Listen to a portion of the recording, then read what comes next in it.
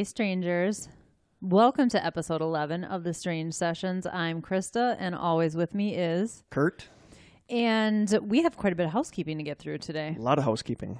Yeah, hopefully you'll bear with us, but I think this is all good stuff. So, what should we start with? Whatever you want. So, did anybody watch the uh the disappearance of Maura Murray? I did. I did. Hands up over here. Um, we talked about it on The Strangers. If you didn't know, we have a private group on Facebook called The Strangers. Um, we just had a new person request to join today, so welcome. I should probably look and see who that is, but I don't even know how to get there. We do have the internet here now in the studio, which is exciting. Man, we're like it's super high tech and professional now. yeah. We can Skype and stuff. I know. So we've got like we, all of our shout outs we have right in front of us. We don't have to print stuff out and highlight and underline anymore. I still print stuff out. I'm old school that way. yeah. Well, um, It's also don't know. today is also National Coffee Day. Did you know that? I did not know that. That is why I have coffee today. I had some this morning. Plus, coffee I think subconsciously makes me feel smarter when I drink it. Oh, So I got that going for me. is that like if you had patches on your elbows? No, Don't know.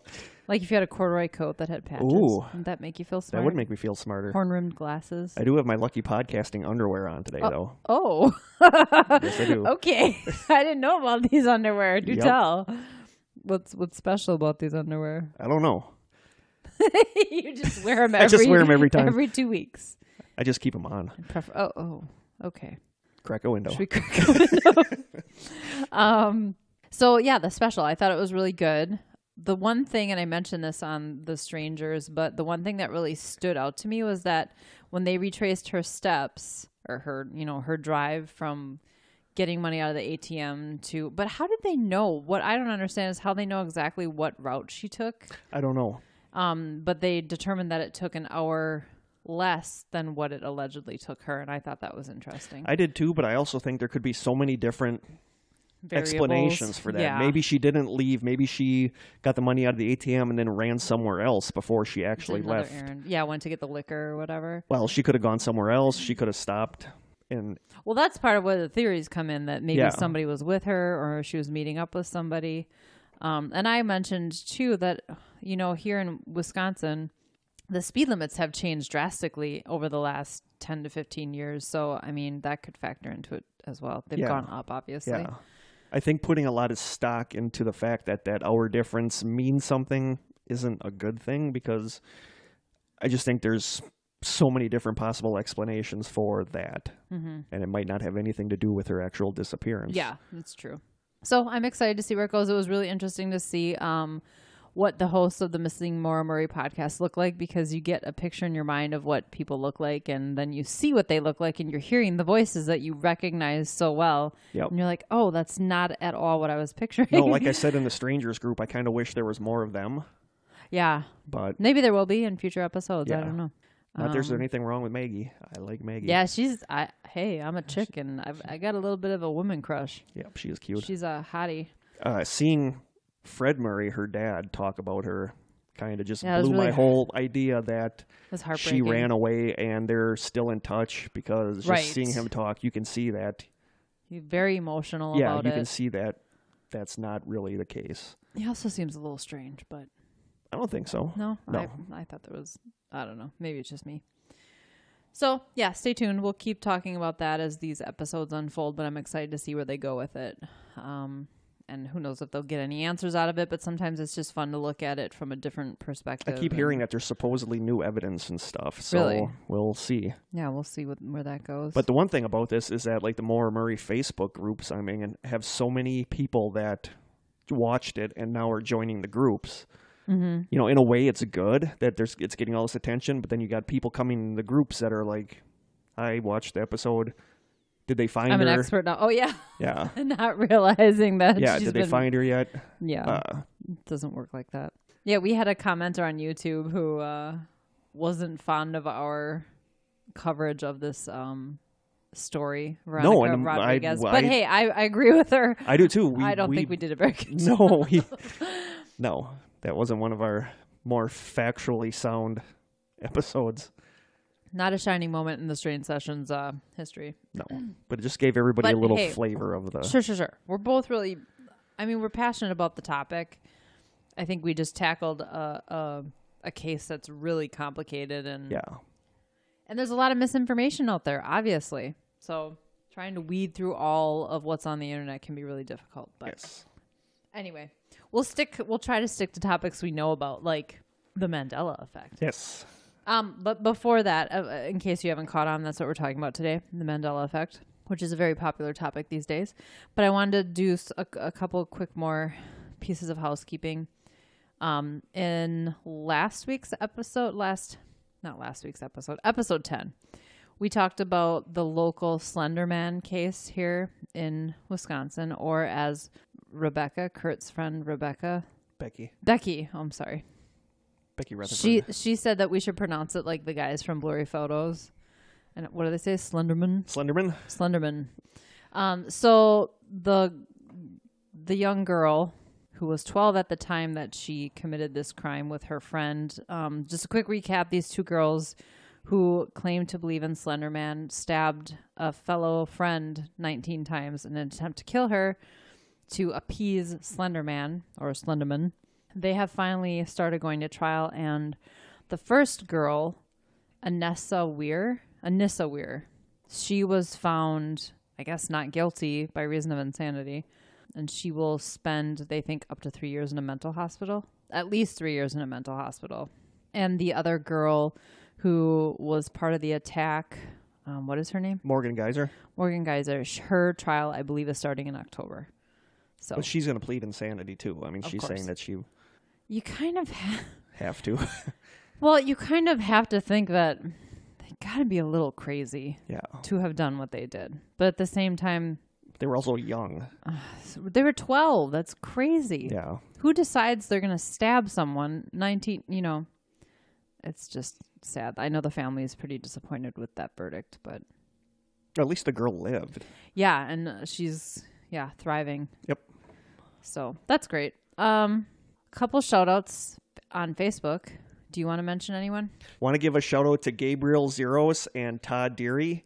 They both gave us good reviews on. I think they both gave us five star reviews on our page. So thank you very much, guys. Yeah, that's amazing. And I just wanted to say, Gabriel, I don't talk like I'm from Wisconsin, so I don't know what you're talking about there. Hey, Every now and then when I'm editing, it's I cringe a little bit. No, like, at me or at you? At both of us. at both of us. We do have the Wisconsin accents going on. we'll go to a class or something. There's got to be a pill for that. There's got to be something for that.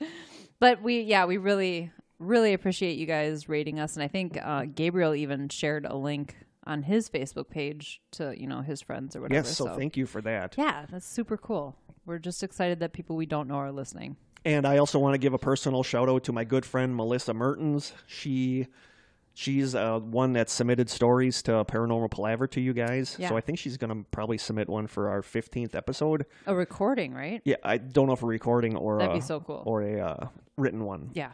Uh, so I want to give a shout out to her. Her birthday's in two days, so happy Oh, birthday, happy Melissa. birthday. Yeah. Even though by the time you hear this, it'll be past your birthday. Sure. Yeah. But still, we're thinking about you. So happy birthday. Yes. Happy birthday. And that's And- it for my shout outs. Well, I also wanted to mention my co-host Joe, uh, co-host on Paranormal Palaver, is getting married tomorrow. Woohoo! So congratulations to Congratulations, Joe, Joe. and his lovely fiance, bride to be Miranda. By the time you guys listen to this episode, you will be married. So that's super exciting. Congratulations. I hope no Illuminati shows up at your wedding. Yeah. Oh, Just saying. Yeah. I'm glad he's not listening to this ahead of time. He'll get all paranoid. um, and one more mention. Um, Tobias Wayland. He gave us uh, left a message and a couple links, I think, on our Facebook page about the Chicago quote unquote Mothman sightings. He is part of, I guess, a task force that is tracking all of these sightings and interviewing people. And there's some his part. He said his partner Emily. They're from the Singular Illinois. Fortean Society. Yes, and I think Sophie and maybe a couple other people have posted And Barry's friends with him on Facebook, I believe. Yeah. So interesting we kind connection. of know him by association, I it's guess. like six It's like degrees of Kevin, Kevin Bacon. Bacon. um, and so I mentioned to him that it'd be so cool to have them on the show because I'm really fascinated with what's going on down in the Chicago area, and they seem like they would have the best information to share. So we are working on hopefully getting an interview with them and maybe do a whole episode on Yes. this timeline and these sightings that are happening down there. So thank you, Tobias, for sharing the link that you sent, and hopefully we'll be in touch. Anyone else? Are we missing anyone? I think that's.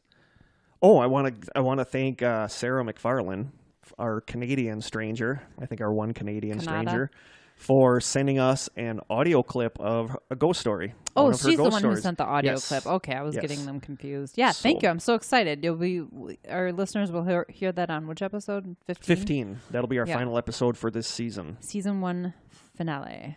It'll be uh, personal encounters. So write to us If you have the ability to record if you have the ability to record. Record, and we'll play it on the show. If you want to write to us, write to us with any of your personal paranormal stories. Yeah, that'd be very cool. And she's super active on our clo- our private group, The Strangers. Yeah, so we that's had pretty we cool. had quite the thread going on uh Maura Murray last Yeah. night. totally. Cool. I think that's it for housekeeping. My goal is still to someday get Maura Murray on here to be interviewed, Yeah. mostly because I don't want to think she's dead. I want to think she's still alive out there, I even though I kind of right? don't anymore. I don't know. I'm really torn. I I- feel like if- there's not enough evidence either way. If she's not, I want her to have walked off into the woods Not and murdered. died. No, I mean she had what two crashes in the course of how long? She it sucks to think that she had two crashes and then she runs into somebody that kills her. That's just sour luck, and I don't want her to have that. Yeah, I agree. Okay, should we get? uh Oh, and we were going to. Oh. Oh, hello. Yeah. yeah, Uh, Chris and I are also going to have a mini investigation here tonight in the school.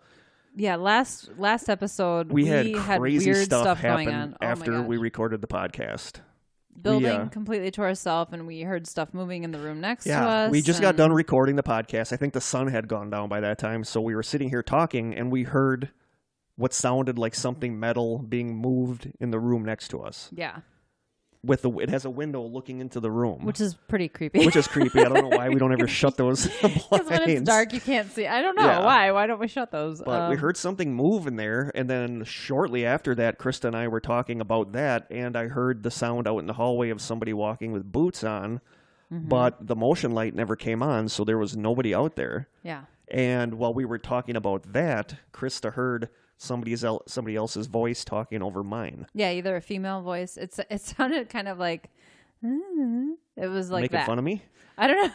yeah, I don't know. It was either a child or a female. That's Yeah. what it sounded like. But there's nobody and then it just here. felt weird in the building. We Yeah. did not like being We wanted to get out of here. Yeah, we did not like being in the building. So tonight, after the recording of the podcast, we are going to have a little mini investigation, and if we come up with anything interesting, we will have it on the show Yeah. in two weeks. Yeah. If you don't ever hear from us again, Yeah, you'll know where to look. exactly. we're we're just hoping nobody shows up here because this school is used by people other than us. So um, we're just hoping that because if people show up here, we can't really do an no, investigation. it's going to be very hard to do an investigation when you have too people much playing noise. basketball in a gymnasium. Yeah. Oh, I just got a response from Tobias. I love Wi-Fi, saying, um, because I told him that we, you know, we're not all that high tech. We're looking for a way to interview people who aren't actually in the room with us right now. Um, and I said that we'll hopefully maybe get some kind of Skype thing together. So Tobias says, no worries. We're just in Madison, though. So it's conceivable that we come to you if necessary. It would be nice That'd if be really cool. it would be nice if he could come with Barry. Oh, that'd be really cool. That would be really cool. She lives in that area and Bergen if she wanted to come. yeah. Yep. Hmm. And Emily. Guys, work that out. Okay. But I think we're good to go. Should we hop on the Mandela train? Let it. Let's Slide on to let's that. slide onto the Mandela train. yeah. Uh, where do you want to start?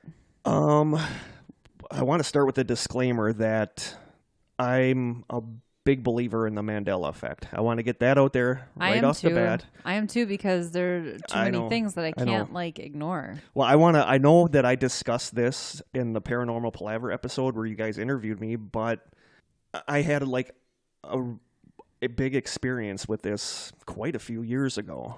Is that the yeah The New Zealand thing. yeah Um, what happened was this was around 2007, 2008. I'm not exactly sure when this was. Oh, before I get to this, I want to say what the Mandela effect is. I'm Oh, yeah, guessing. I'm, hello. I'm just assuming that most people listening to this know what the It Mandela is such a effect popular is. topic now, but yeah, you, you so should if, probably. in case you don't, uh, a definition that I found online of the Mandela effect says the Mandela effect is the pseudoscientific belief that there are differences between people's memories and the real world that are being caused by changes to reality itself. Also known as collective false memories and alter vu, which is like deja vu, but alter vu is where you know something happened, but it didn't, apparently. alter vu. Alter vu. I've never heard that. I didn't before. either until today. I was looking that up. But yeah, so basically what it is is when you remember something that you swear happened and Yeah. you find out you were wrong. Mm-hmm. Like Jiffy peanut butter. Like Jeff Peanut, butter. that is one of the examples. Uh, it was the f- co- the phrase Mandela effect was coined in 2010 by Fiona Broome, and the name comes from Broome's unshakable belief that South African political leader Nelson Mandela died in jail during the 1980s. He was actually freed in 1990 and became president in 1994. She was at a convention where she was talking to people and realized that a lot of other people shared this belief that he died in the 80s, only to find that he was alive. yeah, he just died in like 2011 or Yeah, something. it was wasn't it? So that's where the name the Mandela effect came from. It is when you are certain of something from the real world that you find out never happened. I think um, another common one is Kirk Douglas. Isn't it Kirk Douglas? A whole bunch of people remembered Kirk Douglas dying. That it was on the news, like he had like a massive heart attack or something. And Oh, and I just I was just Michael reading Douglas. today that there's a lot of people that remember Hugh Hefner dying years ago. Really? Yeah, when Oh, he actually died what yesterday? I There's a lot of people that remember before. him dying Yeah. years ago. But Kirk Douglas just turned 100. So it's one of those, it's another one of those where people remember seeing it on the news Yeah. that he had died. Yep. So it's interesting. Uh, we're going to get into several examples in a little bit, but uh, my personal experience with this was back in 2007, 2008. I'm not exactly sure when. I know Krista knows the story because I've talked about this. At the time, I had a good friend named Francesca Chess. She lived in New Zealand with her family, and we'd be chatting all the time on the computer and stuff. So her and her family would take trips to Australia quite a bit from New Zealand, and she would tell me where she was going, and she'd be like, "Well, pull up a map of New Zealand and and Australia, and you can see where we're going, all that stuff." So around, I'm guessing it's 2007. Around 2007, I was on the above top secret message board, which is uh, paranormal stuff, UFO stuff, conspiracy stuff. Uh, it's a really fascinating board. It's like I want to say maybe 40% really well-spoken, intelligent, insightful people and like 60% kooks. yeah. That's not too bad of Uh, a ratio. No. and uh, but I was reading a thread, something uh, the thread the name of the thread was something like have the timelines changed or something like Mm-hmm. that. And I thought it would be good for a laugh, so I was scrolling through it reading it and I got to a post where some guy posted to me New Zealand has always been northwest of Australia. So I kept going, and then all of a sudden I'm thinking New Zealand is northwest of Australia. So I quickly pulled up a map of New Zealand and found out that it had totally moved from where I remember it being. That's so weird. Especially since you have these memories of looking at Yeah, that map that's the thing is that I was very familiar with where New Zealand was in relation to Australia because of all the times that I checked the maps. So I was just shocked, and I remember the two people I texted about it that day were you and Sophie, and you both basically poo pooed me yeah, saying that you're I was on drugs. Although I couldn't point out New Zealand on a Yeah. map right now. So- But I was just I was just shocked. I mean, to me, that's how a skeptic would feel if they saw a ghost, right. because just everything I knew was just completely crumbled. Turned upside down. you know, I went back and looked at maps from like the 1800s and stuff, and they had New Zealand in a totally different place. That's the crazy thing. You can't find proof of what Yeah. you yeah, what because you know whatever's is changed true. is changed retroactively Yeah. back throughout history. It's like the Berenstein Bears thing. We're gonna get to that too. Okay, yeah, because people go Yep. looking for books and yeah. It's crazy. But other people in this on this thread too were saying the same thing. They were like, "Wow, I remember New Zealand being northwest of Hmm. Australia." And then one guy on the on the board photoshopped where he remembered it being, and Yeah. there were a bunch of us that are like, "That's exactly where we remember it being." So I was just stunned by this, and that's when I kind of got into following this stuff, and that's kind of when I got into the. I've always been fascinated by the paranormal stuff, but that's when I got into the big picture stuff, like reality, parallel universes, Yeah. and Like I what was could be causing this? yeah, I was kind of keeping track of this. And what's really weird, and I think I told you this, but I don't remember, is that at this time, when New Zealand had moved from northwest of Australia, it had moved to northeast of Australia, hugging the coastline, like really close to the coast of Australia. And just within the past couple months, I looked, and now it's southeast. So it's completely moved around. It's completely Again? mo- yeah, it's completely moving around Australia to me. Huh. Where it was before this, it was it was long and slender, and it was hugging the coastline, like really close to the coast of Australia. And now, just I want to say a month ago, I just happened to look again, and now it's south, way far south. So have you looked where it was. online to see if anyone else has noticed that too? One of the things is when I was uh, researching the stuff with the Mandela effect, it comes up a lot that people are saying New Zealand or Australia are always changing and always moving. Oh, that's strange. So does it lie somewhere like, you know, the way lines? Do you know about the way lines? The ley lines. Ley lines. Geez, clearly I don't know enough about it. But Uh, I don't know. I don't know. But I mean, it's moved from northwest of Australia to northeast of Australia to southeast of Australia. So it's like basically bouncing around, and every every couple of years, it's almost like it's in a different place when I look. well, now I need to bring it up on a map. And this is a common thing. This a lot of the ones that a lot of the pages I looked at today talked about people saying that New Zealand has moved or Australia is in a different position or Australia looks different. Well, yeah, that's interesting because it's not really all that close to Australia no, the way you're and, describing and before it. it. was like hugging the coastline, like it was like you could swim across it. It was so close. And there's nothing over there. No. And I'll be the first one to admit that my geography skills aren't the best, but I was very familiar. You have a reason to remember it. Yeah. Hmm.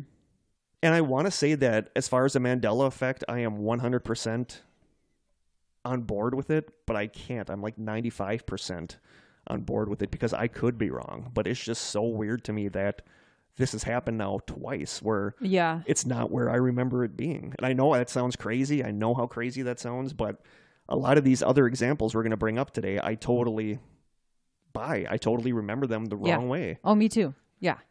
Well, and I think what's number one, I think it's hard for us to admit that it's happening because Yeah, it's kind of into that's, scary. that's into theories too. yeah, but the other part is that you can't come up with an explanation that No. really makes a whole lot of No. sense. So that's why it's hard to wrap your head around. Yeah, and with the New Zealand thing, there were a lot of people that remember it being where I remember it being. Hmm. It'd be one thing if it was just me, but it wasn't just me. Okay. So that's my personal experience with it, and I've actually been kind of following this stuff and studying this stuff since that happened. Yeah.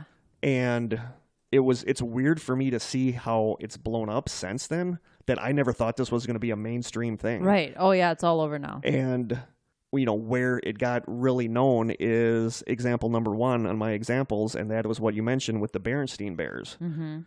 and that was the crazy one that got everybody kind of like wow and i there, the berenstein bears there's two different ways people remember it it's stein or stain When I pronounced it Berenstein, so did i but spelled E I N, right? yeah And then, but but it's actually S a-i-n T A I N, like stain, like Berenstain Bears. I. Yeah, no, that's not what it was. No. I don't remember. And you tell people that, or what we were. I doing- actually had an experience with this many years ago. I was at my friend Angie's house, and she had two young boys at the time, and there was a Berenstein Bears book laying out. And her and I got into an argument about this because I said, "Why is it spelled differently wrong? I mean, why is it spelled?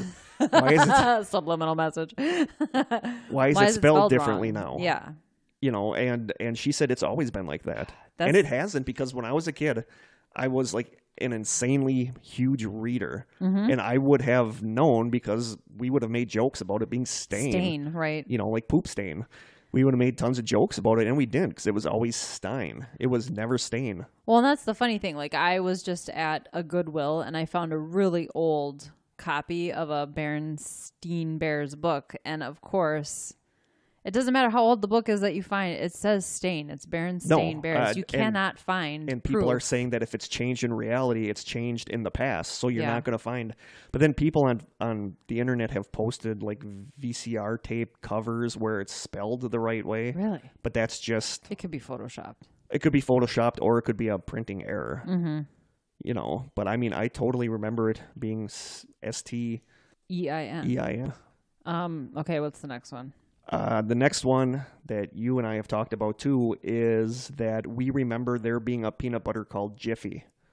There was a peanut butter called Jiffy. There is a Jif and a Skippy, obviously, But I hate it when people say that though because it's not. I know what Skippy is. I That's what friends. my I have parents friends always that bought. are, that completely 100% remember a Jiffy peanut butter. I remember what the jar looked like. Yeah, my friend Brooks swears that that's what they used to eat when they were kids was Jiffy. Yeah. Well, we didn't. We bought Skippy.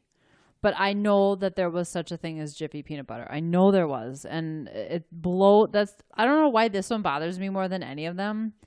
But I just I remember it. It's like it's a childhood memory that I have so vividly that I just I really have a hard time believing that it didn't exist. Yeah, a lot of people do. A lot of people I know remember. it's just peanut butter. a lot of people remember Jiffy being a peanut butter. Yes, absolutely. We never bought Jeff because it was that really sugary, gross, like kind of like Peter Pan stuff. We never bought that. But I don't know. That one sticks in my craw for some reason. That one sticks in a lot of people's craws because I can remember it. I can kind of remember what the label looked like, yes. but it apparently never existed. Wow, that's crazy. Yeah.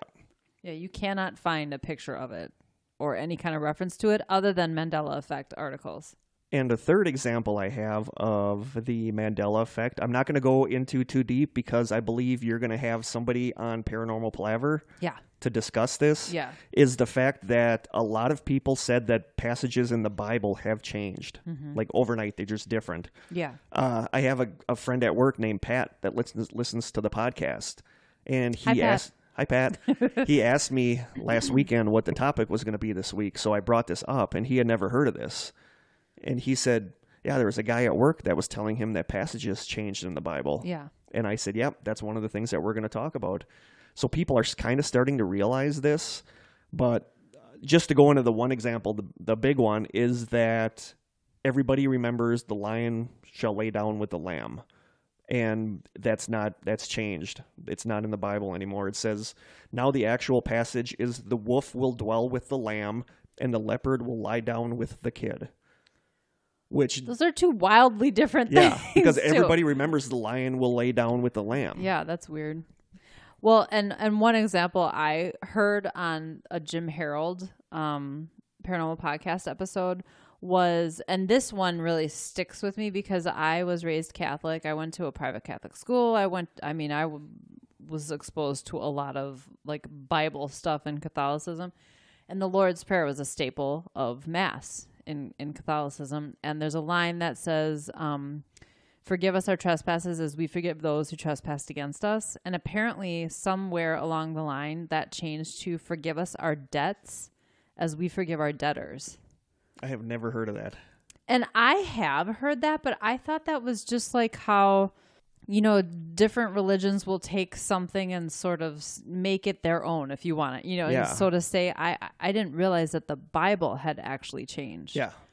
So the the guest that we're going to have on Paranormal Palaver is Jim Parker. He's somebody that we all work with at um well, I don't know if I should say where we work, but Jeff Joe and I work with this person and he's a pastor and he's been a pastor for 20 years, so he is incredibly familiar with the Bible and he says that there have been things that he would know like the back of his hand that have changed. So I'm pretty excited to see what kind of stuff he brings. Yeah, I am excited to hear that one. I'm Yeah. excited for that.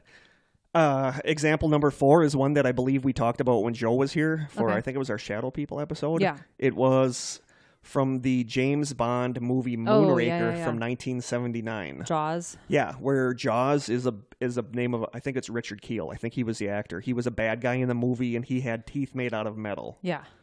And during the course of the movie, he meets this cute little blonde girl, and they fall in love, and he ends up like becoming a good guy. But there's a point at the end of the movie where he smiles at her, and she smiles back at him, and so many people, including myself, remember that when she smiles back at him, she has braces. And all of a sudden, that's where everybody's like, "Oh, you know, that's kind of what they have in common is Yeah. that she has metal in her mouth too." Right. That's their And connection. now she does not have braces. She smiles at him, and there are no braces. That's interesting. And this one freaks a lot of people out because this is like one of their first examples of this. And they're like, you know, people have gone back and looked at different versions of the movie, and she Mm-hmm. never has braces. But I vividly remember her having braces. I remember what the braces look like on her, but she does not have braces in the movie.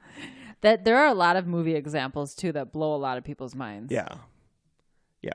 But that, but that's we're we're we're we're so um wow i can't talk pop culture movies music that is stuff that we all really connect to and so we remember certain things Yeah. from certain movies um so we all you know remember those iconic moments and phrases from movies so it's kind of like really it's it shakes you a bit when you Yep. realize that it's not right no, we'll get to that in one of the theories. Okay, too. Good. It's kind of it's kind of tied in with one of those. But I mean, I completely remember her having braces. Okay, And I've a- never a seen that A lot movie. of people remember her having braces and are freaked out by the fact that she does does not does not have braces. And these next three are new to me. I have never seen these before, but all three of these kind of freak me out a little bit. Ooh, maybe they'll be new to me i'm Um, excited Number five goes back to the 80s TV show, The A Team. Hmm. I was a huge A Team fan, and the A Team had a van, and I specifically remember the van was completely black except for a red stripe going down like diagonally. And when you watch it now, the bottom half is black, and above the red stripe, it's gray. And it was never gray before, it was hmm. completely black.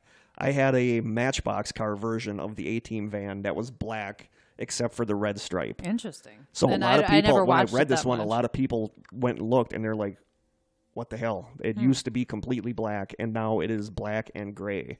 That's weird. Yeah, it never was. This next one is probably the one that freaked me out the most because I totally remember this. And this one is from the Fruit of the Loom underwear or t shirts. Okay.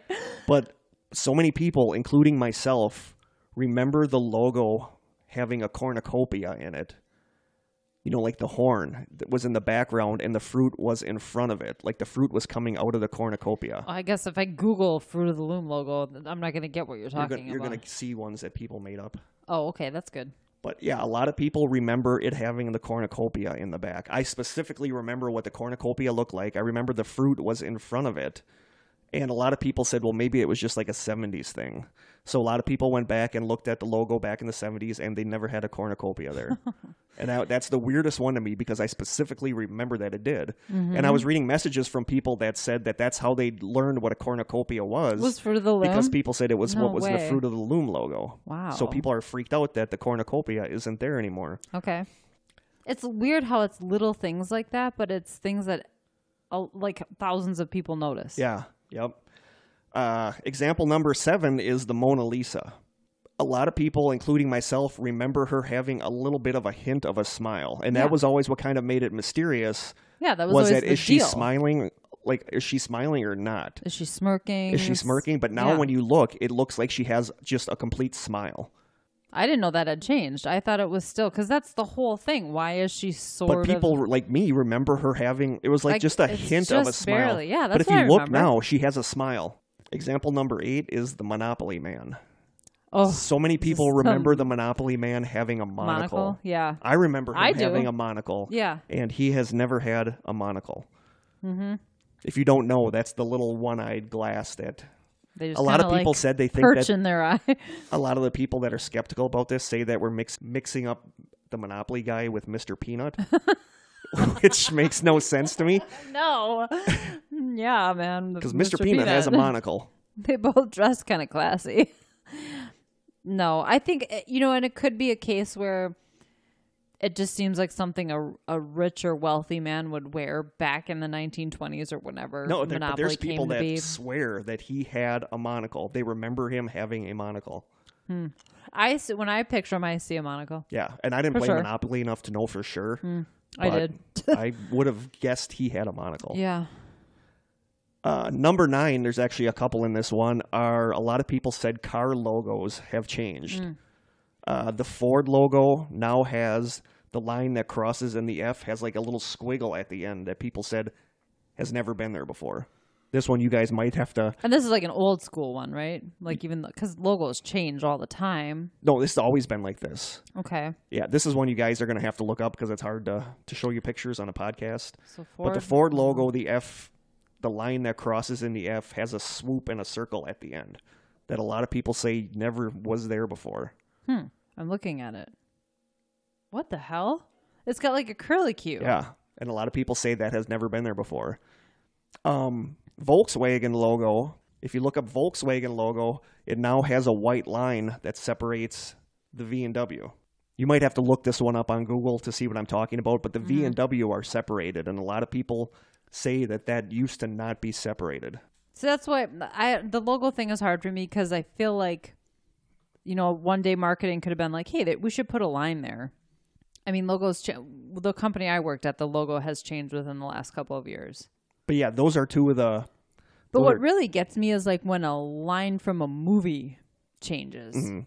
Or a character from a movie. Mm-hmm. Well, that's like my last. Star Wars. That's my last. Uh, my last one is that people remember the line from Snow White being "Mirror, mirror on the wall," and it's not. It's "Magic mirror on the wall," but everybody remembers it being "Mirror, mirror on the Yeah. wall." Really, it's magic mirror on the wall. hmm That's annoying. But a lot of people, a lot of people remember it being "Mirror, mirror on the wall." Okay, what else do you got for movie ones? Well, that's it for now. But movie ones we'll get into Okay, later in one of the theories. one of the theories. Okay, Uh, what other ones would you? I don't know. The Jiffy really annoys me. No, I can't think of any. No, I can't. you know that there's the. Shazam one Oh. where a lot of people believe that Sinbad, the comedian, played a genie in a movie. played a genie in a movie, and he didn't. Although now they made a trailer, he just recently made a trailer. no way. Yeah, because so many people believe this that he was in a movie where he played a genie. There was a movie called Kazam where Shaq, Shaquille O'Neal, played a genie. Yeah, but it's not. But a lot of people swear that the comedian Sinbad also had a movie where he played a genie. Didn't someone say though that he would sometimes do stand up wearing a weird outfit that like resembled like he'd wear big pants and Yeah, it, it could be. Hmm. that is one that I remember. I remember it. That was a thing. It was a movie.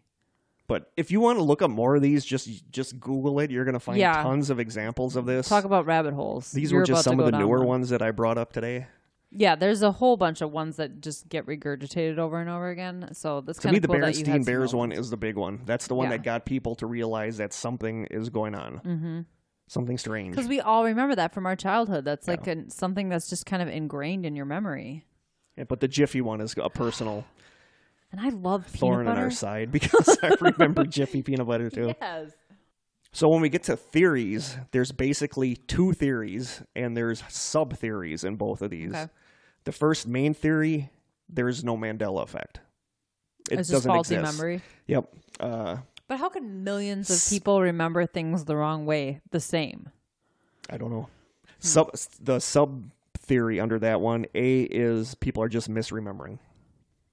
And but we're all misremembering it the same way. That's the Yeah. weird part to me.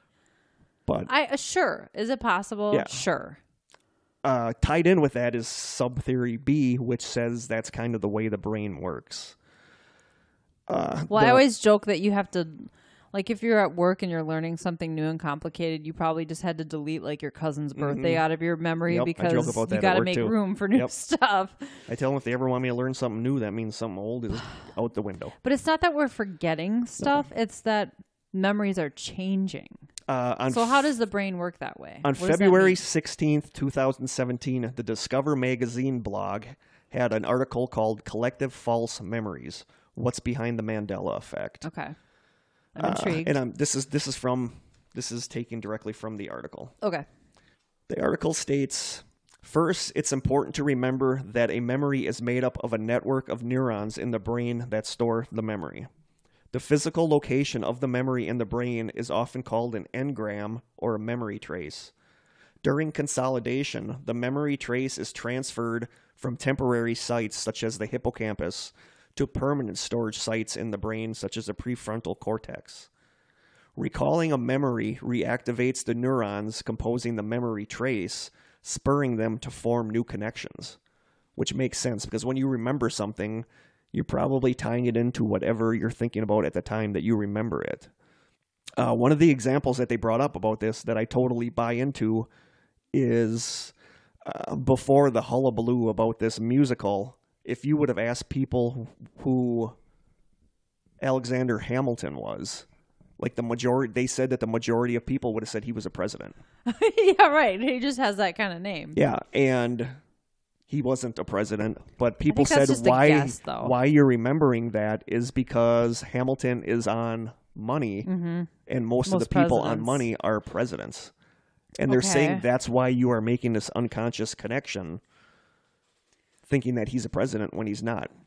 So they they they theorize that some of this Mandela effect stuff is a memory tied to something else. I think that could explain It some could. of it. There's also something called confabulation, which is the brain's attempt to fill in missing memory gaps by adding fabricated facts and experiences that never happened. It's kind of like matrixing when you see something in a photo that's not there. Your brain does that sometimes. It if there's no connection between two things, Yeah. it makes up a connection between two things. And it said confabulation seems to be more frequent in the face of repeatedly unpacking a memory. So the more you pull out this memory of something, the more your brain fills in details around hmm. it that might not have existed. Which. What- is I think is super fascinating because that's basically your brain working against you. So what I think is interesting ab- about that is so when for Paranormal Palaver we did an episode on the Mandela effect too and leading up to that we would ask random people, family, friends, coworkers we would phrase it like this. Do you remember that show or those books or that cartoon as a kid? It was a bunch of bears and we would wait for them to tell us what the name of the sh- the show or the books were. And then we would say, "Do you remember how that was spelled?" We never gave anybody the choice. Everybody said Berenstein Bears, not Stain Bears. Yep. And when you tell them that's not it, that's wrong. You're you're telling it wrong. It's Berenstain Bears. They all are just like, "What are you talking about? That's not possible." And that that kind of goes into sub sub theory C, which is suggestibility. But we, I guess what I'm saying is, we were trying to Yes, veer you were trying to completely avoid away that. from the Uh, suggestibility. of it. suggestibility says we tend to believe what other people say is true, and the way a question is phrased can lead a person to remember things incorrectly. Like if if you were to ask somebody, "Do you remember the 1990s film Shazam that starred Sinbad as a genie?" It suggests that the film actually exists, Right. and it could insert a false memory into the person. That's like saying, "Do you remember Jiffy peanut butter?" Well, yeah, of course I do. Well, that maybe those people are thinking Skippy and Jeff. yeah. Not But- me, and though. also going I along- remember it. also going along with you know your your memories being linked to other memories people uh, theorize that that's what the sinbad one is because when you hear the name sinbad you think of the old literary or the f- folk tale sinbad the sailor Mm-hmm. that maybe had adventures genies and all that Yeah. and you somehow tie that to the comedian sinbad I have such a visual of it though. mm-hmm. Like I can see it, and the outfit was purple. that yeah, could be I mean, wrong. I, I totally, I totally think so too. I, I, I, I understand it. I can see these explanations make sense, but I just don't think that they're the answer for all of this. uh subs I keep want to say subsection. Sub theory D is confirmation bias. Uh, that says that the people that are seeking out the Mandela effect will often more easily be persuaded by other claims about the Mandela Sure. effect. You know, and then with such claims they may agree with, they will often discard any evidence against the contrary.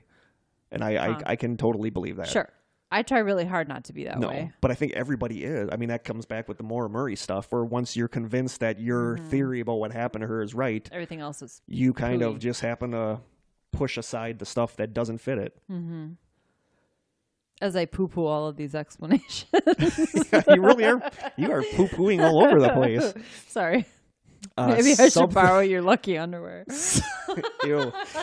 Ew. Oh yeah. Sub theory E is something called cryptomnesia. Oh, okay. Crypto, it's like amnesia. Cryptomnesia occurs when a forgotten memory returns without it being recognized as such by the subject.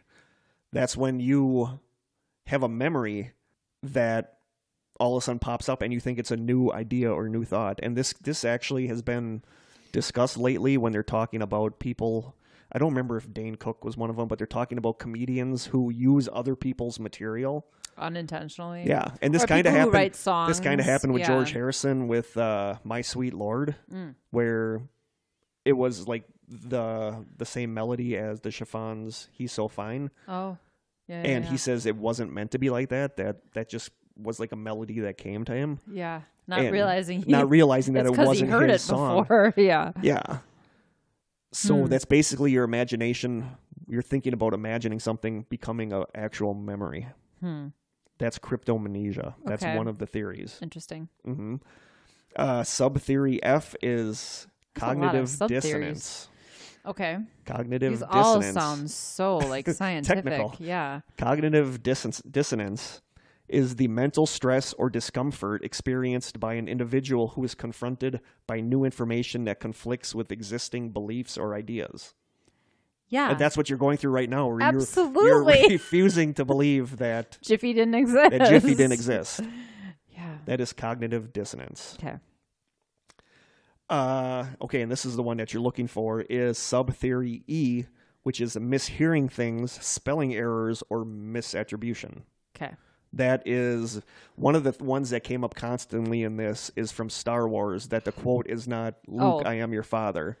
It's, no, no, I am your father. father. Yeah. And I personally think that one is dumb because the way I look at it, you see the movie and you want to bring that quote up to your friends or whatever, you're not going to say, No, I am your father. You're going to say, Luke, I am your father to give it some sort of context. So once they say Luke, they're going to know you're talking about Star Wars. Hmm. And also, over the years, so many other, I think Family Guy, so many other things have used the phrase "Luke, I am your father." That we, We become used to thinking that that that's that that's the actual Yeah. phrase. You know, and that's like it's like people believing that uh, "Play it again, Sam" is said in Casablanca when it's not. Huh. That phrase is never said in there, but it's always connected with that film. Yeah. You know, the actual quote was something like, "You played it for her, you can play it for me." Oh, So not it's not even close. close to play it again, Yeah. Sam. And I think that's what a lot of these movie quote ones Yeah, are. like the Field of Dreams. Like Field of Dreams. Like uh, the fact that uh, Forrest Gump says life was like a box of chocolates. He never says life is like I a box of chocolates. You know what's funny is that we, my husband and I were going shopping, and just before we got out of the car, we heard someone in a commercial make a reference to that phrase. And it was like a, they were trying to tie it into something they were selling. And they said, life is like a box of chocolates. You never know what you're going to get or whatever. Yep. So I was like, see, it's interesting that It's like once it, once it gets picked up by like the collective consciousness, that becomes the quote, whether Yeah. it's right or not. or somebody somebody famous misquotes it once Yeah. everybody Yep. repeats that the, okay back to star wars though C-3PO With his leg, with That- his, leg his his he leg. has a silver leg he does have a silver down? leg. I mean, I I'm not a i s- do I'm not, remember that I'm not a Star Wars guy, so I really can't chime in on this one. i mean i'm not like a super fan but i've seen the But a lot of people are than freaked out when they find out that he has a silver leg. That his From whole body is down. not gold. He has a silver leg. I, that's crazy hmm i've always remembered him solid gold Uh, also, going along with this mishearing things, uh, two that people talk about all the time that I think are nothing, are that people believe the name of the movie was Interview with a Vampire. those are like Yeah, yeah but interview with a and with the sound the same. When you're telling somebody, when you the tell somebody, I went to see Interview with the Vampire. you could have just said the or uh right there Yeah, and, and that's know the thing is that people get confused when they hear. It's Well, the same thing with Sex and the City. Yeah It's always been Sex and, And the, the city, City, but a lot of people think it's Sex in the City, yeah and it's not. But it's when you say Sex in the City, That's It could how be either yeah, one. Yeah, yeah. Well, the thing about interview with the vampire is that the th at the end of with combined with either uh or the. I mean, it's really easy for those to become kind of blurry. So I could I could see that. Yeah, neither one of those really got me. But I, I was a huge fan of Sex and the City, so I always knew that that was the title. So it's interesting how some of them you're like all in on, and others I'm like, no, that was never what it was. no. And So I mean, why is it selective like that? I Why is know. it hit or I miss? know. You think it, it would either be all or nothing? uh, when you get there's also misspellings in here, and this one I am kind of on the fence about. That I specifically remember the word dilemma being spelled D I L E M N A. Oh, really? And it's not. It's D I L E M M A. Yeah, I know. But I never- I remember it being M N. You're an English I was reading major. com- I, yeah, I was reading comments from people that are English teachers that said that's not right. It used to be M N A. yeah, but there's certain things like the word shop used to be spelled S H O P P E. You know what I mean? Yeah. There are things like that that have evolved But no, when you look up over when you years. look it up in the dictionary, it's MMA, and a lot of people, including myself, remember it being MNA. Yeah, I don't remember that. And is that like a spelling thing that, Hmm. you know? So it, all those. well, that's along the lines of Berenstain versus Berenstain. yeah, and that's one of the arguments about that is it's called the Berenstein Bears. So in your head, you're thinking Steen, And it, and you just ignore the fact that it's Stain. okay, so here's an example. Ryan Braun, he's a brewer. Last name is spelled B R A U N. Okay, down in the Milwaukee area, we pronounce it Braun. Up in Sheboygan, they pronounce that Brown. Yeah, Spelled exactly yeah. the same. and that's where it's going to run into confusion where. Somebody's going to hear that and assume it's B R O W N, and then all of a sudden that'll be popping up in Mandela Effect. Hmm. One of the ones that I came across constantly researching this that really annoyed me was from the movie Dazed and Confused. Love There's that movie. I We've talked I know we've talked about that. That's Yeah. that's like one of our One favorite best movies ever, yeah. But there's a scene in there where Pickford is spinning a globe, Yeah. and if you look when he goes past Australia, it looks like there's an island No way. to the west of Australia. Okay, I have this movie on DVD at home. I'm going to have to look this up. By the way, I just wanted to mention that I think the host of The Disappearance of Maura Murray kind of reminds me of Parker Posey. she kind of does. and uh, speaking of Dazed and Confused, she played like the ultimate bitch in that movie. So this island shows up. There's there's pictures of it all over the internet if you want to look. He's spinning the globe, and there's an there appears to be an island to the west of Australia. Southwest, right? Yeah, like Okay. west, west, southwest. But a lot of people say that this is a Mandela effect and say that that's proof that an island used to be there that isn't there anymore, but it's not. I mean, I I watched the scene in the movie. I looked at the pictures online and I think it's one of two things. I think it's a rip on the globe showing the cardboard beneath it, Could be. or I think it's the Top half of what country would be. No, it's it's the uh I want to say like the copyright information for the people that made the globe. It's like the the box that the copyright information is in. Hmm. You know what I'm saying? Or like the legend telling you how many inches is a mile. Yeah, but So it's going to be one of those two things. It's not an island. I, I actually personally believe it's a tear on in the paper on the globe. okay. But other people say that it's the copyright information and like the legend telling you how many miles an inch is. I suppose uh, that and this shows up this showed up so much in my research and stuff and it drove me nuts because that's people saying that there's proof that there was an island there at one time but the thing about the mandela effect is if it's changed there's no clue behind that something has changed you're not going to find a globe that has this island on it No. Right, of course, you're not. But that Just was like one- you're not going to find a book of Berenstain Bears. no and if you do it's going to be a misprint Right. you know so that's one thing that i constantly came across in here and then people are putting those out there as mandela effect stuff Hmm. and that gets to the last sub theory f which is bandwagoning people don't want to be left out So that's what you're talking about. yes That's like a little yes okay. that's what it is and that's what people are It could be. Yeah, it definitely could be that. So people are throwing this out there saying this is proof that the mandela effect is real when it's not Right. but like i said Well, in that case. sub theory In that situation. Sub theory F is bandwagoning. People don't want to be let out, you Hmm. know, left out of this, and are like, "Oh yeah, I remember a thing like that." right. So, you they know, start making stuff up. yeah, then. it's good that so many people are aware of the Mandela effect, but it's also congesting everything where people are throwing all this stuff out there. Mm-hmm. You know, and as soon as somebody's like, "Oh, I thought I brought my bologna sandwich for lunch today, and I didn't," it's got to be the Mandela effect. so now everything is becoming the Mandela effect. Speaking of baloney, Oscar Mayer is Oh one yeah, of Oscar. Mayer is also. I totally forgot about that one, and I totally remember it the way it is. Well, and it's a song. Okay, here's It's the thing. always it's always been Oscar Mayer, but it's it's pronounced Oscar Mayer.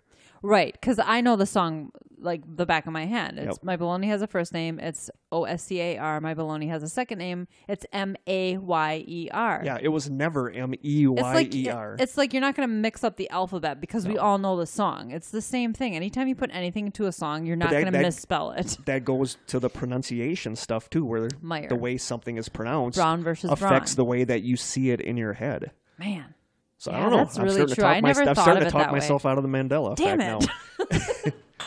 so those I, I agree though because that could be how the Berenstein Bears. It could be, but I specifically remember it being. It was never stain. You know, No. that's like the Jiffy one with you. That's like the what. That's the one that. That's the Yeah. thorn in my side. I remember it being Baron in your craw. That is the one. Yeah, hmm. it's the one that pisses me off. You don't want to see Kurt get pissed. Ooh, it is not pretty. um, and that brings us to theory two, which oh God, is we're only on theory two. How many subsets does this one have? quite a few. Okay. theory two is that there is a Mandela effect. okay. Now we're talking. Sub theory A is that it was caused by CERN and the Large Hadron Collider. Okay. Uh, a lot of people buy into this one. That uh, right around the time when people started, you know, realizing the stuff is going on is when the Large Hadron Collider started experimenting. Well, okay. When did this first lady, the Bloom, what was her name? Uh, When did that happen? Fiona Broome, Broome. coined the phrase in 2010. Broome. Okay, sure.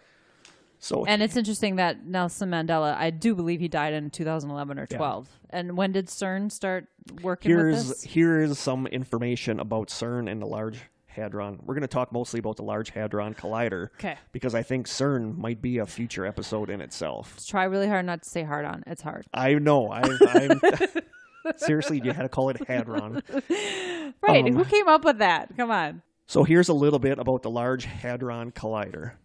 Uh, the Large Hadron Collider is a particle physics experiment that aims to produce stable micro black holes. I mean, that does not sound like anything somebody should do. But hey, I'm not a scientist, so I don't know. Uh, it's trying to produce stable micro black holes, recreate the Big Bang, and find the God particle, aka the Higgs boson particle. What is the point? Why why do they want to find it? I don't know, just because they're scientists, I guess. I don't know if it's boson or boson, but Higgs, bo- we'll say Higgs boson particle is the particle said to be responsible for mass. The Large Hadron Collider is a particle accelerator that collides protons at near light speeds.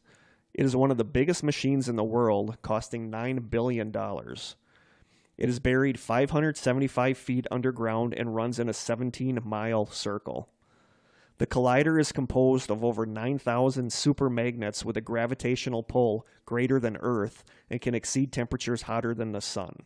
Yeah, that's nothing to, nothing to mess with. That's terrifying. Yeah. Aside from magnets, the collider is also composed of coils, strands, filaments, rare metals, and cable. The Large Hadron Collider is said to have the potential to open otherworldly doors to other dimensions, according to the former director for research and scientific computing. And outside of the facility sits a statue of Shiva, the Hindu god of destruction. Well, that's foreboding. Yeah, exactly. The Large Hadron Collider first went live on September 10th, 2008, but initial testing was delayed for 14 months from September 19th, 2008 to November 20th, 2009, following a magnet incident that caused extensive damage to over 50 superconducting magnets, their mountings, and the vacuum pipe. On December 8th, 2009, scientists claimed a world record by crashing particles together at the highest energy ever achieved in a laboratory. So it's just weird that it was like a year after that that the, the term Mandela effect was coined. Right. Yeah. You know, so is that a coincidence? Uh, One of the quantum particles that CERN has been searching for is called gravitons. These elusive particles correspond with how gravity would react between different dimensions, and while they're still only hypothetical, CERN describes them as if gravitons exist, it should be possible to create them at the Large Hadron Collider, but they would rapidly disappear into extra dimensions. Collisions and particle accelerators always create balanced events, just like fireworks, with particles flying out in all available directions. a graviton might escape our detectors, leaving an empty zone that we notice as an imbalance in momentum and energy. We would need to carefully study the properties of the missing object to work out whether it is a graviton escaping to another dimension or something oh, else. Oh, jeez. So, I mean, they're saying theoretically these things could pop to another dimension. So people, I love how they just talk about it like other dimensions are Yeah. 100% real. yeah. So people are wondering if them messing around with this stuff wasn't the cause for the Mandela effect. And I can kind of buy this. Oh, absolutely. I mean, from the start, I said I don't know if this stuff is something that they should be messing around. messing with. around with. I agree. That's that's scary.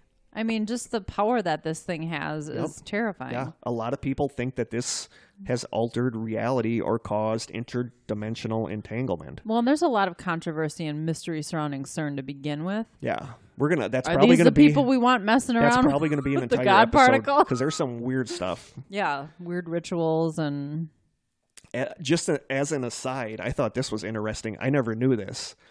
That in Illinois, there's a place called Fermilab, okay. which I had never heard of. They had a super collider. I never knew that was there. They had a super collider Nobody's four miles around with more than 1,000 superconducting magnets cooled to minus 450 degrees. Uh, in it was it started online in 1983, and in 1995 it discovered the top quark particle. Okay. And I never knew this was there. It's called the Tevatron. It's How like come a, it's nobody's like heard a, about It's like a this? mini Large Hadron Collider. They shut it down basically when the Large Hadron Collider started. But yeah, it's Why? 45 miles west of Chicago, and you will never guess what the name of the town is that it's in. Are they afraid that the two of them running at the same time is going to No, cause our I think they world took to some explode? parts from it. I think they took parts from it. oh, okay. Where? guess- What's the name of the town? Guess what the name of the town is. I'm is? never going to guess. Batavia. No way. That is. Are you that- Yeah, serious? Batavia, Illinois. That What is the that's hell? Batavia is here. That's where we're Yeah, recording we're the recording podcast in Batavia, Wisconsin. That's crazy. But in Batavia, Illinois, they had a super collider. I never knew that. wow. No, I didn't know that either. Interesting. So yeah, that's that. So And I- how come the one that CERN put together is way more publicized than this I don't one? know. This one was publicized, but it was back. I suppose it was back before we were paying attention to The, the, stuff the, about the, the large Hadron hadron, collider is way larger than this one. So, hmm. like I said, they they took a lot of magnets. They took a lot of the stuff from this one to put in the LHC. yeah. Interesting. Okay. So a lot of people believe that that this messing around with you know making little mini black holes and stuff somehow mm-hmm. opens something up. I which is I can buy that. I can totally buy that. Uh, sub theory B is it's proof of parallel universes. Uh, I know I we discussed this previously. I don't remember if it was on our podcast or on Paranormal. I think it was Paranormal Palaver. but there's some people that think that Earth has a defense mechanism where if something Well, I don't know devastating about is going Earth, to happen, just like our reality, dimension, yeah. our reality. like yeah. if there's something crazy that's going to happen that's going to wipe us out, we somehow flip to a parallel dimension where that doesn't happen. we t- it's like You, know, like this past Saturday, the world was supposed to end Again. That Nibiru or Planet X was going to Yeah. collide with us, and we were going to end. And some of these people think that we were supposed to, but whatever created this defense mechanism for our reality or for Earth or whatever just popped us over to another dimension where it didn't happen. Right, it's like you take a side step to the left and Yeah. you continue on an almost identical path that has Yep. just slightly different, you know, details. Part of me buys into this because it's still when you think about the fact that we're still here, Right. nothing hits us, Yeah. nothing destroys us. North Korea hasn't killed us yet. Not yet. The podcast hasn't been released yet, so I'm keeping my fingers crossed that that Yeah, hasn't right. happened. But then you think about things like 9/11, you know, really major tragic. There's a lot of people that tie. A lot of people think that September 11th had something to do with the Mandela effect. They don't know. Mm-hmm. Some people theorize that it was just the shock to the collective consciousness Yeah, of America that stuff that, like that. that we created Sure. the Mandela effect. I don't know. You know, but my question about this parallel universe stuff, like, is if we do flip to another one, where are the people in that one? Do they shift to another one as well? I don't know. It's like I don't musical know. chairs. I don't know. But The- that, that's that's what people think. Left without a chair and is that for some somehow the walls between the parallel universes Hmm. are thinning and that's how this stuff is Well, and that's a theory about what ghosts are. It's just something bleeding over from another dimension that, you know, isn't quite coming over the whole way. That's possibly what EVPs are. Yeah, is somebody in a parallel dimension talking that we just happen to record? Yeah, they're and just that getting there's a people that think close. the walls between these different dimensions are thinning Yeah. to the point where stuff is bleeding through. That's kind of a creepy thought. Uh, sub theory C, you know, I believe this one because we talked about this in an earlier episode. Proof that we're living in a computer simulation, Mm. that it's glitches in reality. Yeah. I don't like that theory at all, but because I don't want to It believe makes sense. that. I mean, if we are living in a computer simulation, there's going to be little glitches from time Sure. to time that happen. Right. Every once in a while, when I'm typing on my keyboard at work, like the letter J is now the letter Y. It, like weird stuff like that. It's temporary, goes away. But why does that stuff happen? You know? One theory that I don't have on here that I read on Reddit that I thought was actually kind of interesting in a geeky way is um there's something in quantum physics called Schrodinger's cat. Okay. Schrodinger's cat. You don't know what that is? I've never heard of this. Um it's like a thought experiment that to a quantum physicist, Did you hear that? I heard something too. okay. We're going to be investigating later. anyway, to a quantum physicist, the premise of the thought experiment is that there's a box that has a cat in it, and there is a device in the box that has a 50 50 chance of releasing a poisonous gas into the box to kill the cat. Okay. It's a 50 So far, I don't chance. like this No, experiment. it's a 50 50 chance. yeah. I thought I heard something again. okay, anyway, I'm like I'm like nervous. getting now. freaked out. Yeah. It's a 50 50 chance that this device is going to go off and kill the cat. Okay. to anybody else, they would say, "Is the cat alive or dead?" And they would say, "I, I don't know," you know. But to a quantum physicist, the cat is both alive And and, dead. dead. until you actually open the box and check. That's Mm. called the observer effect, where you don't know until you look. So up until that point, it exists in both states. Hmm. And one of the theories that I read is that somebody thinks that a lot of these things, like the girl having braces, the girl not having braces, kind of exist. They existed in this flux state, but the observer effect set one of them in stone. Hmm. Not always the right one. Right. But what I thought was interesting was that the observer in this case that's doing the observer effect, this person believes is actually Google and the internet. Because now that we Google all this stuff, it becomes concrete. So I thought that was kind of an interesting it is. It's an interesting It's theory. it's a spin I've never heard. That's for Yeah, sure. so that's it kind of reminds me of the idea. My I have a coworker who has a weird way of thinking about. It's not really related to this, but it reminds me of it. He said that there's no such thing as dying. You're either alive or you're dead. yeah. You're alive until you're dead. There's no such thing as in between or dying. No, and, that's that's like it's kind of. I, I feel like that's a you know a parallel. you know, I was analogy. thinking about while I was driving here. I was thinking about I don't know how that got on the subject of thinking about this, but that there's really no time. Time doesn't. I try not to think. You know, time doesn't really. The only the only We invented time, time. is an idea. There's no Yeah. time. I mean, you're always in the present moment. Yeah. You know. Uh, yeah. Yeah. Ah, don't do that. so anyway, That's go- really going- oh, that's the stuff that keeps me awake at night. I freak myself out. going back to this sub theory D, okay. time travelers. Okay. A lot of people think that when all this hullabaloo about 2012 happened, that the world was supposed to end, but time travelers came back and prevented that from happening. But they also caused other things to, like the butterfly effect, where they've done Yeah. things that had consequences they didn't just a realize little bit. Yeah. Uh, Yeah. Hmm. That's interesting. Why it would change the color of the A team's van? I don't really know. right. It seems like really Weird stuff. insignificant things, Yeah. though. You know. And going going back, uh, just quickly to the Mandela effect doesn't exist. People bring up the fact that a lot of this stuff is old stuff from like the seventies, Yeah, the there's nothing 80s, our childhood. yeah. That is just further proof that that's us misremembering stuff Yeah. from the the past. Just one more thing to set us aside from apart from millennials because they're not going to remember any of this. No, but yeah, time No travelers. offense, millennials. I love you. Time travelers is Yeah. one of the theories.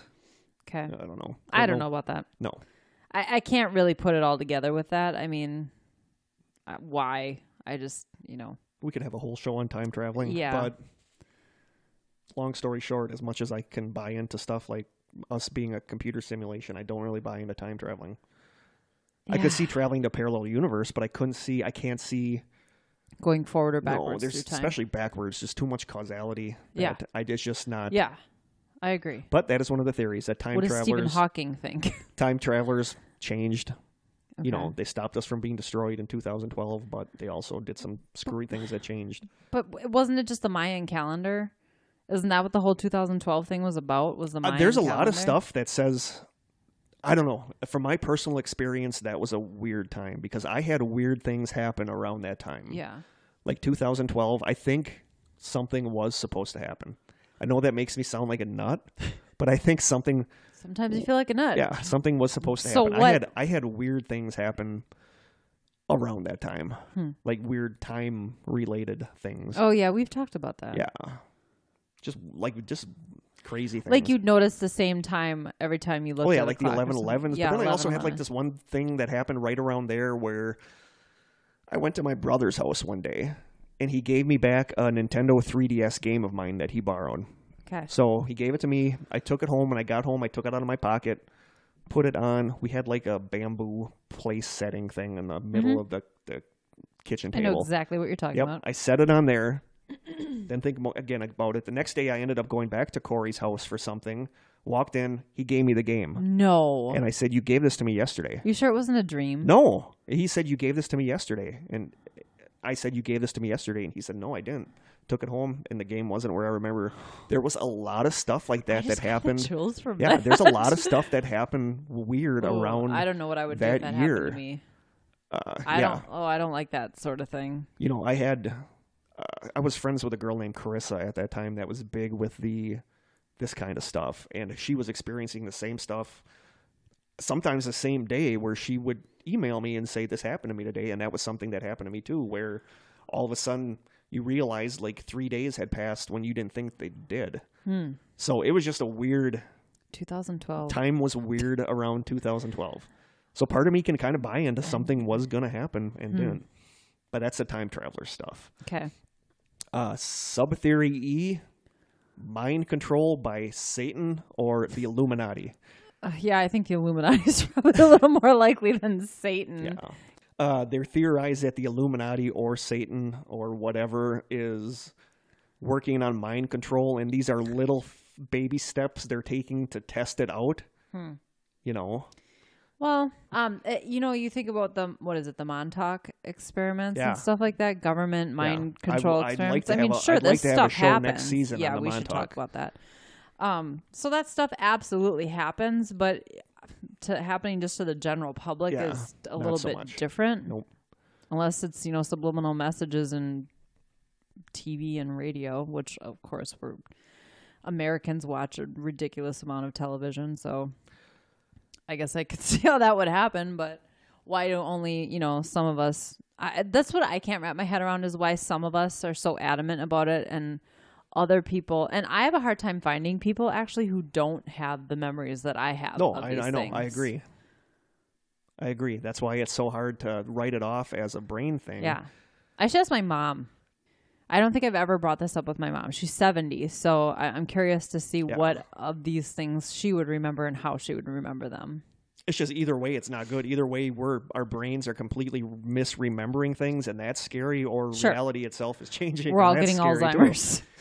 yeah, or something else is happening. I think the something else is a little bit scarier, but And the last sub theory is, and this one surprised me that I actually found this quite a bit, is that some people believe Earth is currently moving to a higher dimension and humans are ascending, you know, like uh, evolution, yeah. that we're moving up. And that this one popped up a lot. A lot of people mentioned an author named Dolores Cannon. Okay. She wrote a book called The Three Waves of Volunteers and the New Earth. And this is a quote from her. She was a hypnotherapist. And she said, When you see thousands and thousands of clients, as I do as a therapist, a counselor, and hypnotherapist, you see a common thread going through many of the cases. Earlier on, it seemed to be that people go to a past life and I'd find some of their answers there. And within the last five years or so, I began to see clients who weren't at all going into a past life on Earth. I began to find out they had never been to Earth before and that they had come here directly from God, from some source, from other planets, other dimensions, where they were beings of light. That's a common thread that I have been finding, and that's where I came up with the theory of the three waves of volunteers.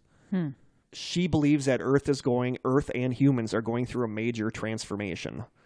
Uh, the, the entire planet is shifting its vibration into a new dimensional frequency, and that people are are being like reborn. Humans are being reborn with the spirits of these people that are from these other dimensions or God or whatever.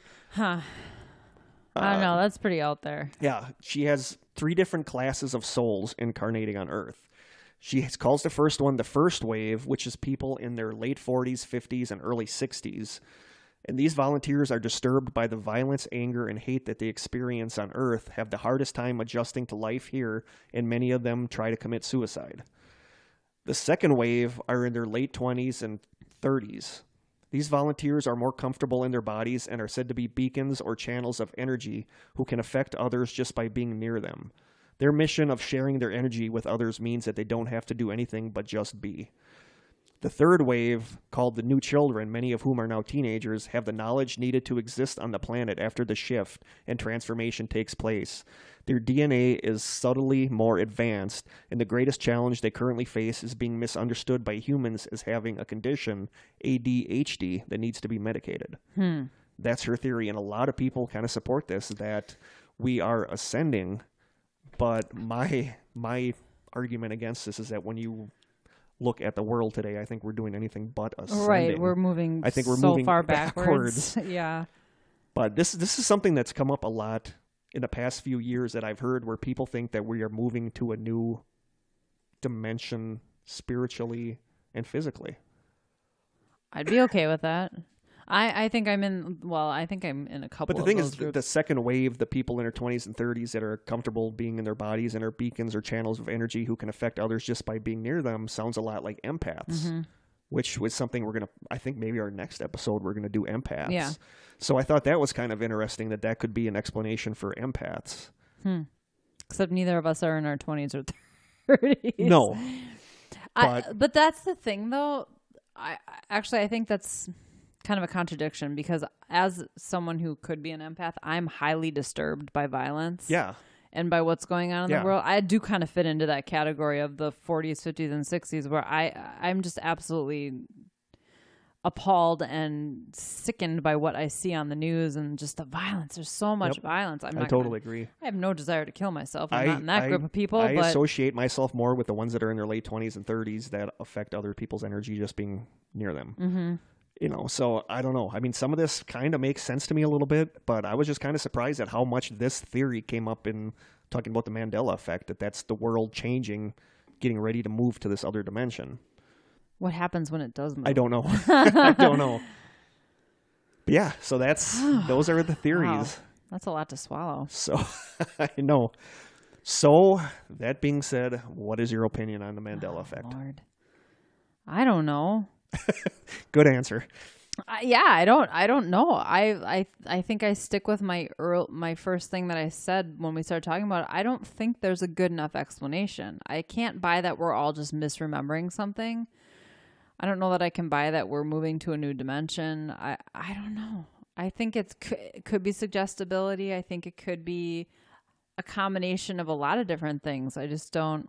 It's so hit or miss. It seems some things you remember that I have no knowledge of or memory of, yep. and That- and some we totally agree on. So it's just really weird how it you know seems to skip over some people and only hits people with certain things and I, I don't know I, I just feel like there's nothing that fully explains what's going on I agree. I mean, I I I, I think it exists. I mean, I base Yeah. that a lot on my New Zealand thing, where it's Mhm. constantly bopping around that area of the of the planet.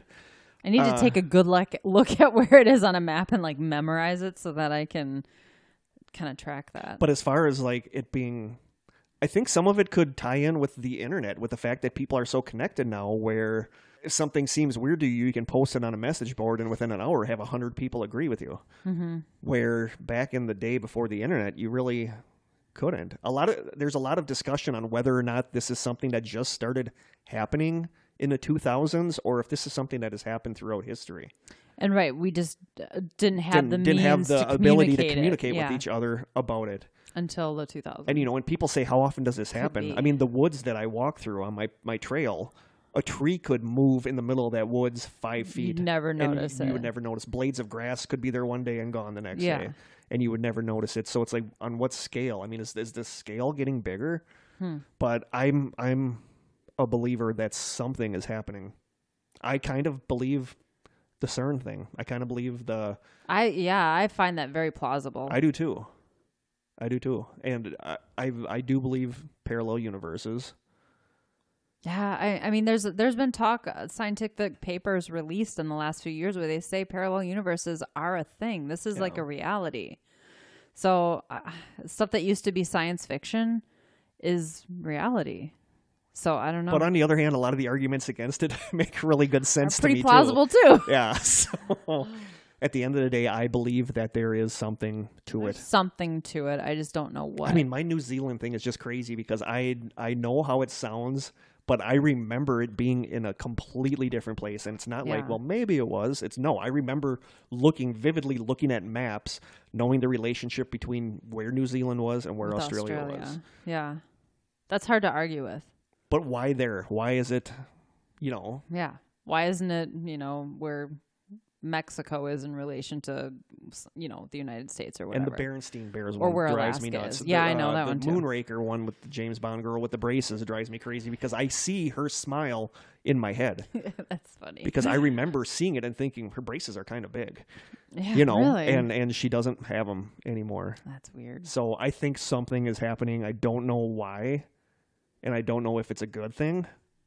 I lean towards it's not a good thing. No, it's a very unsettling feeling too when you realize that something that you remember vividly and always thought to be is never was. No, the fruit of the Just loom was never a is crazy to thing. me because I I can see in my head what the logo looked like. I know where the cornucopia was. The cornucopia, yeah. That one is new to me. I, I don't remember that one at all. I don't know. I think something's going on. I don't know which of these explanations makes the most sense. I can kind of understand them all. You know, I can kind of buy into the reality being a computer simulation. Yeah, well, I'd love for our strangers to get in on this conversation. Let us know what you think. think. Do you have a Mandela effect that you have experience with that we didn't talk about? Let us know. I and this is one of those topics that people just it's so frustrating because it's so personal to everybody. So if you have a, a Mandela effect that you want to share with us, we'd be happy to bring it up in housekeeping. Yeah, I don't know. I feel like we've exhausted this topic today. I do too. I just, And and the sad part is there are probably like a hundred more Mandela effects yeah, that we like I said, if you're interested in this, go on Google, type in Mandela effect, go on YouTube. YouTube. Oh man, you can find so many, YouTubes. videos about Mandela effect. We talked uh, about the Maura Murray rabbit hole. There, this is a rabbit hole. Take a lot of them with a grain of salt. yeah. You know, when somebody Some says people get really nitpicky, when somebody said a movie quote changed, not necessarily. right? it's or just a people logo misremembering changed. it, yeah. Well, are we are we wrapping this baby up? I think we are gonna. Snug as a bug in a rug. But yeah, please get to us. Uh, let us know. Get to us. We're in Batavia. it's funny how you said that. Please get to us. I thought that sounded okay. I'm getting giddy. Hit us up. yeah. Drop us a line. Let us know if your ass got Mandela. Your ass got Mandela. Your ass just got Mandela. I need to make a T-shirt that says that. My ass just got Mandela. I got Mandela, and all I got out of it was a lousy T-shirt.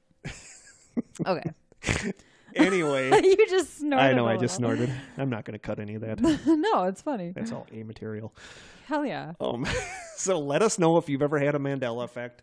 Let us know what you think of the Mandela effect, and just let us know whatever you would like to talk about. Yeah, and if you have anything for housekeeping, I know people are kind of following some of the stuff. Yeah, Sophie. Sophie links. sends us a lot of stuff. Posts Yeah, lots awesome. of stuff on. Uh, I feel like we don't have to do any work. People, I don't know. People posting all the stuff in the strangers group all the time. It's great. Yeah, I, I'm loving that. So keep it up. And uh, yeah, remember to send us your stories for our 15th episode.